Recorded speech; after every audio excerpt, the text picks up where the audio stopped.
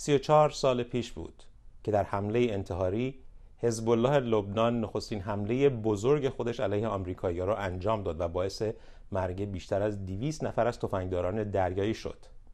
بعدا معلوم شد که هدایت این حمله از سوی جمهوری اسلامی ایران صورت گرفته. دشمنی میان جمهوری اسلامی و ایالات متحده از این روز بیشتر و بیشتر شد. روز گذشته مؤسسه هاتسن در واشنگتن دی سی برگزار کننده همایشی یک روزه بود که در اون کارشناسان و سیاستمداران به بررسی عملکرد جمهوری اسلامی قطر و اخوان المسلمین پرداختند. اما مهمترین صحبت ها در ارتباط با توسعه طلبی جمهوری اسلامی با واسطه استفاده از روش های تروریستی و ایجاد وحشت در منطقه بود و همچنین نقش سپاه قدس بارها و بارها در این همایش ذکر شد. اهمیت این همایش نه تنها به خاطر موضوعش بود بلکه به خاطر کسانی که در اون صحبت کردن میشه گفت یکی از مهمترین گرد همایی های واشنگتن دی سی محسوب می‌شد. لیان پانتا رئیس پیشین سازمان سیا و همچنین وزیر دفاع دولت اول اوباما دیوید پیتریاس رئیس سابق سازمان سیا و همچنین ستیو بنن مشاور ارشد ترامپ در چند ماه اول سناتور تام کاتن و نمایندگان دیگر از مجلس نمایندگان جزو کسانی بودند که به بررسی عملکرد جمهوری اسلامی پرداختند. همچنین ادرویس رئیس کمیته روابط خارجی مجلس نمایندگان هم از کسانی بود که در ارتباط با عملکرد جمهوری اسلامی به همراه نمایندگان دیگر چیزهای بسیاری گفت.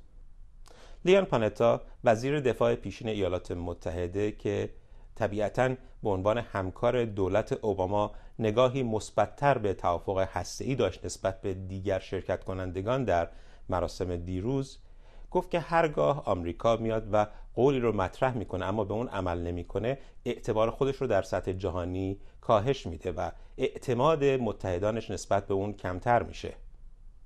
او باراک اوباما را مثال زد که قول داده بود که اگر دولت سوریه باز حملات شیمیایی رو از طریق بمب‌های بشکه‌ای متوجه مردم بیدفاع سوریه بکنه خط قرمزی رو ازش عبور کرده. اما دولت اوباما عملا بعد از بمباران شیمیایی بعد از این تهدید هیچ کاری نکرد و این اعتبار اون رو از دست داد.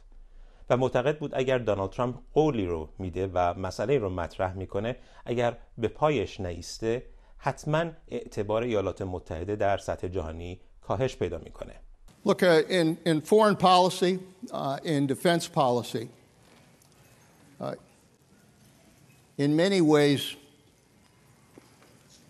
your word counts for a lot. And when you tell somebody that you're going to do something, uh, if you fail to stick to your word, it sends a clear message to others that as a result of that, uh, you cannot trust America as a partner. Uh, in many ways, you know, we experienced that uh, when uh, President Obama made the commitment on chemical mm-hmm. attacks in uh, Syria. Uh, in Syria with Assad, that if those chemical attacks took place, we would take action. And when those chemical attacks did take place, uh, and many, uh, many were lost as a result of that.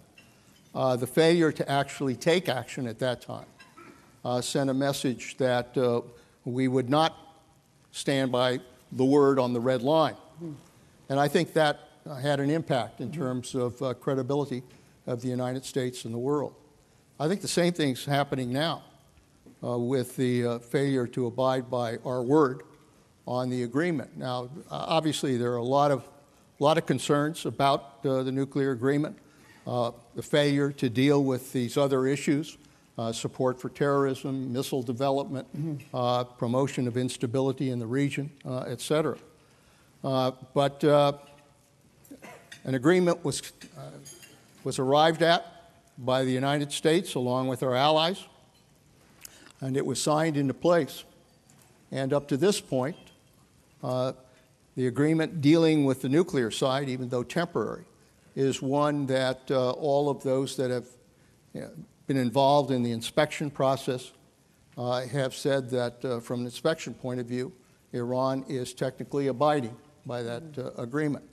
Uh, and, you know, we can raise a lot of concerns about uh, other elements there, but uh, at least with regards to the development of a nuclear weapon, they have abided by that agreement. I think, I think as a result of that, we ought to continue to enforce that agreement. Mm-hmm. And I think Congress, you know, can add, obviously, uh, this issue has now been thrown to Congress. Mm-hmm.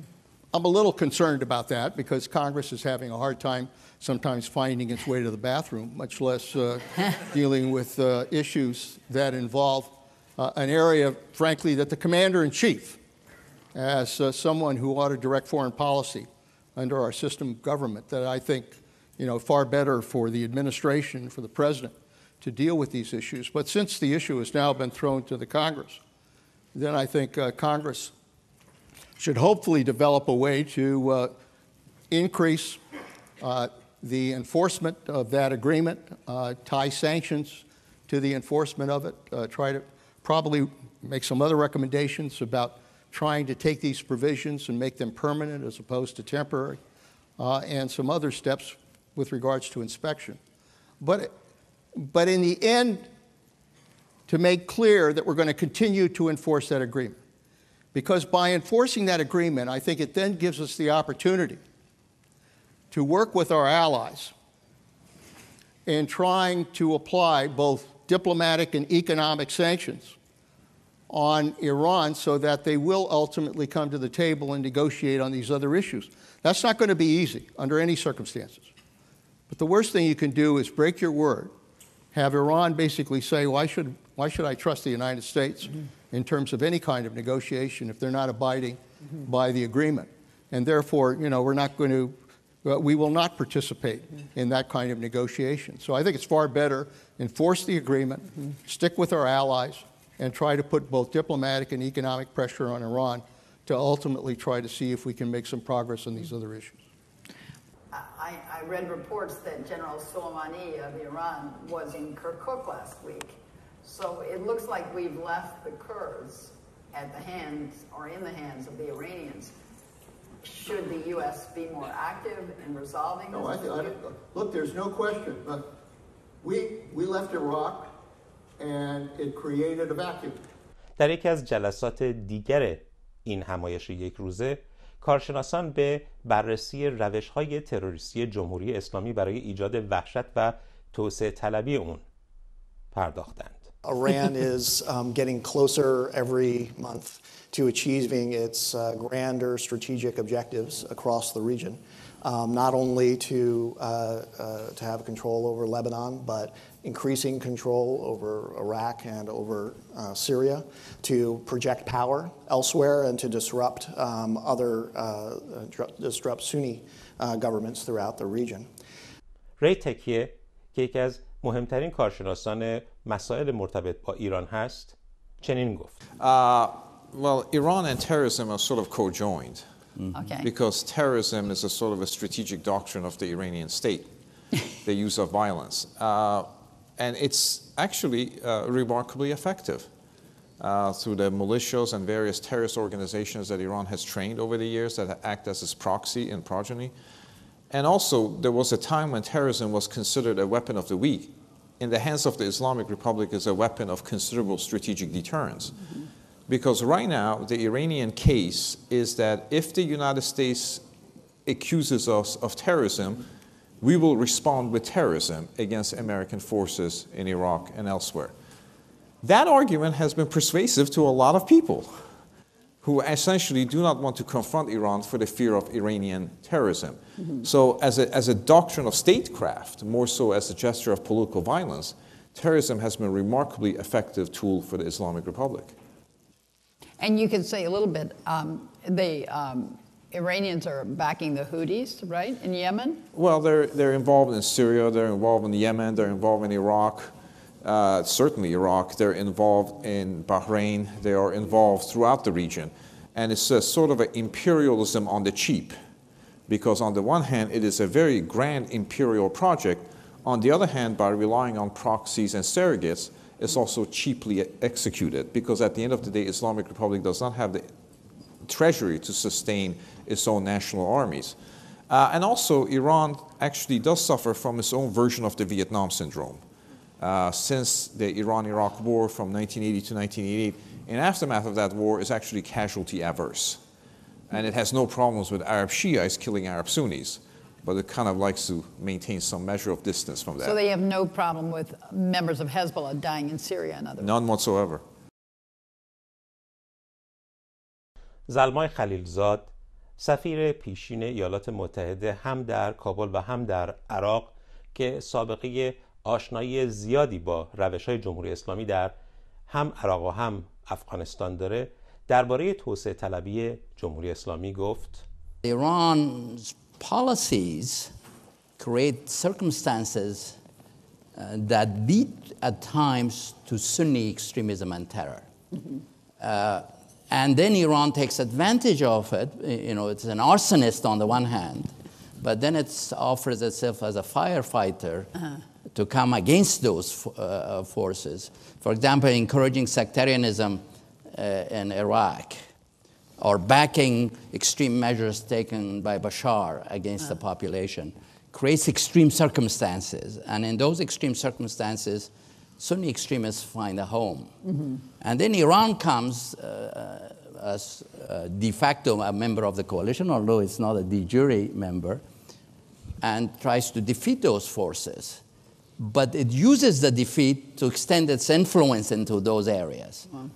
Alberto Fernandez یکی از دیپلمات های قدیمی آمریکا که به بررسی مسائل امنیتی و تروریسم میپردازه نگاهی متفاوت درباره تروریسم دولتی جمهوری اسلامی داشت. Well, I think when we look at Iran and terrorism, I think we're making when we make that phrase we're starting off making a mistake. We all too often focus on, you know, Iran, the world's greatest uh, sponsor of terrorism, and fail to see the much broader uh, ambition and action that Iran is doing on the ground. Uh, Iran is tactically flexible, mm-hmm. but has a strategic vision. Think of it Iran works with Sunni extremists, it works with Al Qaeda. Uh, and yet it fights then uh, Sunni extremists, Salafi jihadists in other places. Uh, I mean, there's even a uh, you know Iranian militia, I mean Iranian supported militia that's made up of at least the leadership in Iraq of Iraqi Christians. بررسی سخنان این افراد و کارشناسان نشان دهنده این هست که به اعتقاد اونها جمهوری اسلامی از تروریسم برای ایجاد وحشت استفاده می‌کنه در سطح منطقه و توسعه طلبی خودش. و این مسئله طبیعتا از سوی بسیاری از ایرانیان در داخل ممکنه با این دیدگاه بررسی نشه. جمهوری اسلامی با حضور قدرتمند خودش در عراق، لبنان، یمن و تا حد زیادی افغانستان باعث شده بسیاری از کشورهای منطقه دچار مشکلات غیرقابل حلی بشن. وقتی ایالات متحده آمریکا در منطقه ظاهر بشه ولی به خاطر مسائل داخلی مجبور بشه نیروهای خودش رو از کشورهای مثل عراق و افغانستان برگردونه طبیعتا خلای ایجاد شده رو جمهوری اسلامی یا به طور مشخص با نیروهای خودش و یا با استفاده از نیروهای نیابتیش پر خواهد کرد. و این مسئله به ضرر هم منافع ایالات متحده است و هم متحدانش در منطقه خاورمیانه. سناتور تام کاتن یکی از منتقدان جدی توافق هسته‌ای هم درباره وضعیت جمهوری اسلامی در منطقه گفت You've been a tremendous critic of the JCPOA. Uh, what are the weaknesses of that deal and what do you think a good deal would look like? Well, the weaknesses are manifold. We could spend a long time talking about them. Um, I'll simply say, at a high level, the nuclear deal with Iran puts Iran on the path to a nuclear weapon. It doesn't block that path. Um, in a mere 8 to 13 years, uh, Iran will have a nuclear industrial capacity, which means if they don't have a nuclear weapon by then, they will be just a matter of weeks away from obtaining one. Um, and that's only if you assume that Iran is not currently operating a covert nuclear program, which would be the first time they haven't had a covert nuclear program in decades. But in the meantime, until they achieve that nuclear status, which the negotiations were designed to stop them from achieving, not help them to achieve. Um, the deal has also empowered and emboldened Iran. Uh, it's empowered and emboldened them because it gave them over $100 million in various kinds of sanctions relief. It continues to help them because they're not facing those sanctions. It helped legitimize them in the eyes of many around the world. Uh, this summer at the Aspen Security Forum, the SOCOM commander, General Tony Thomas, described how Iran had laid the groundwork for what he called the Shiite Crescent. This is a land crescent that extends from Iran to Iraq, Syria, and then also to Lebanon. Do you agree with that assessment? And if so, is there a way to roll back those territorial gains? Very much so. Uh, it's a very dangerous advance that Iran is making through northern Iraq and through southern Syria into the Levant, and their um, aggression against Israel has become much more wide, widespread. For instance, um, Iran is now not just providing rockets to Hezbollah, but they're helping to build precision guided munition factories in Syria on Lebanon's border, um, where Hezbollah can actually manufacture its own precision guided munitions to use against Israel if there's another outbreak of hostilities between Hezbollah and Israel. Uh, we can't allow that to happen. It's bad enough if it happens uh, by ship, for instance, but we can't allow unmolested the IRGC to have resupply lines going from uh, its territory in Iran into the Levant. دیروز همچنین رؤسای کمیته های امنیت سرزمین و روابط خارجی مجلس نمایندگان درباره برنامه های کنگره برای اینکه در مهلت 60 روزه‌ای که دونالد ترامپ داده برای بررسی بیشتر توافق هسته‌ای صحبت کردند و به نظر میاد که فشارهای بیشتری متوجه جمهوری اسلامی خواهد شد. We see in Syria and in Iraq, we see it right up along western Syria now with the Quds forces and the IRGC. They're taking advantage of this fight against ISIS. And they're moving in, they're brutalizing Syrians, but they've seized so much territory. And meanwhile, Hezbollah, which is Iran's terror proxy, is amassing fighters and troops along Israel's border in the north, along the border in the east. And Iran continues to acquire destabilizing conventional weapons, but also intercontinental ballistic missiles. The, the administration has taken a realistic approach on Iran, recognizing the full range of these threats. This is what we have been messaging in a bipartisan way on our committee.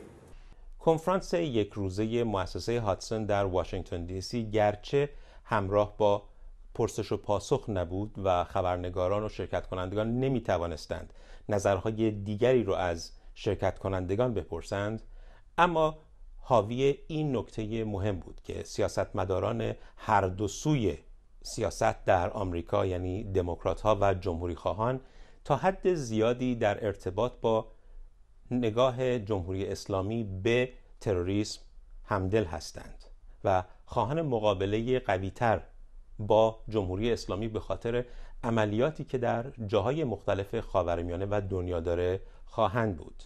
سپاه قدس و سردار سلیمانی بارها ازشون اسم برده شد.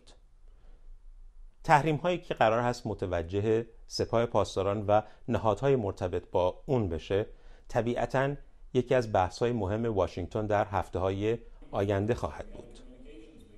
جنرال پیتریاس یکی از سرشناسترین سرداران جنگی ایالات متحده و رئیس پیشین سازمان سیا هم از سخنرانان دیروز بود.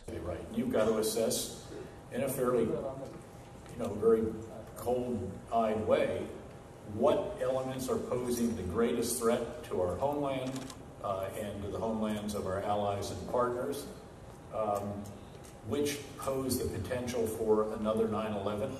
Uh, again, and I think, again, you've got to do this in a very, very brutally realistic manner, noting that you do want to take action against some of the others. I mean, look, in the first year uh, in the surge in Iraq, we decided, I decided that we had to focus on the uh, Sunni Arab extremists, on Al Qaeda in Iraq, and the associated uh, movements, the, the so called Sunni insurgent groups, which were threatening the very survival uh, of Iraq as we knew it. در پایان هم استیو بنان سیاست های مختلف دونالد ترامپ رو برای حاضران توضیح داد. استیو بنان با اینکه چند مدتی است از کاخ سفید رفته اما در خارج از محدوده دولت داره به دفاع از سیاست ها و عملکرد رئیس جمهوری آمریکا میپردازه Trump has accomplished something that I think people would, would, would have mocked and laughed at uh, in the campaign. Raqqa fell the other day. I mean, the physical destruction of the ISIS caliphate would shock the world on its rapid rise and I think put the world back on its heels about how can this kind of, you know, group of young people with a, a, couple of spiritual leaders in the, in the call to arms they had from that 900-year-old mosque in Mosul, how could they have an economic capital in Mosul and a spiritual capital in Raqqa? And how could they have 8 million people that could be taxed? It, it, was, it was breathtaking. The whole world kind of backed off. In eight months of President Trump's strategy, executed by General Mattis, and that strategy was not a war of attrition. It was very specific from day one. This will be a war of annihilation. We will physically annihilate the caliphate. And that's what's been accomplished.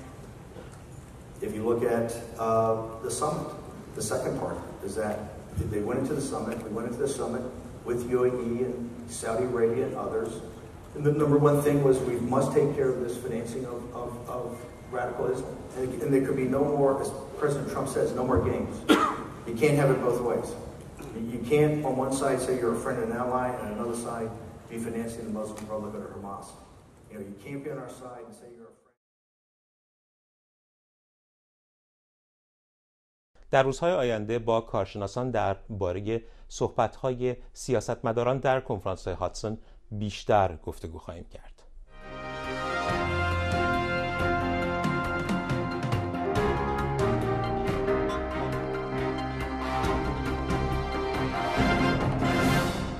سازمان عفو بینالمللی نسبت به صدور حکم اعدام دکتر احمد رضا جلالی که از سوئد به ایران رفته بود اعتراض کرد.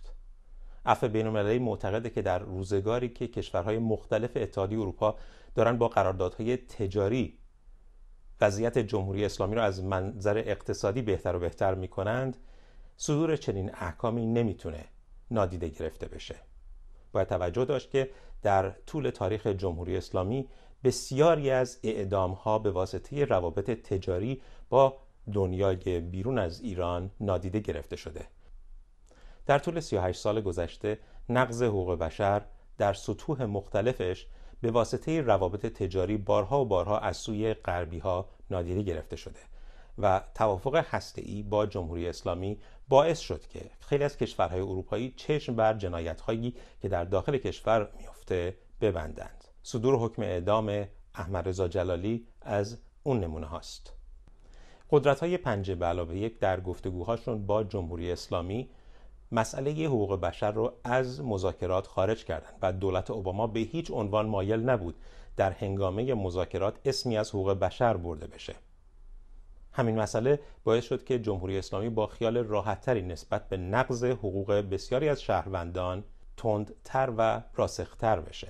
اما اتحادیه اروپا به واسطه رابطه تجاری قویتری که با جمهوری اسلامی ایران برقرار کرده چندان مایل نیست در ارتباط با حقوق بشر به ایران فشار بیاره. خیلی ها معتقدند که بایستی به ازای نقض حقوق بشر در ایران بسیاری از قراردادهای تجاری موقتا متوقف بشوند تا زمانی که جمهوری اسلامی متعهد بشه نقض حقوق بشر رو کنار بگذاره.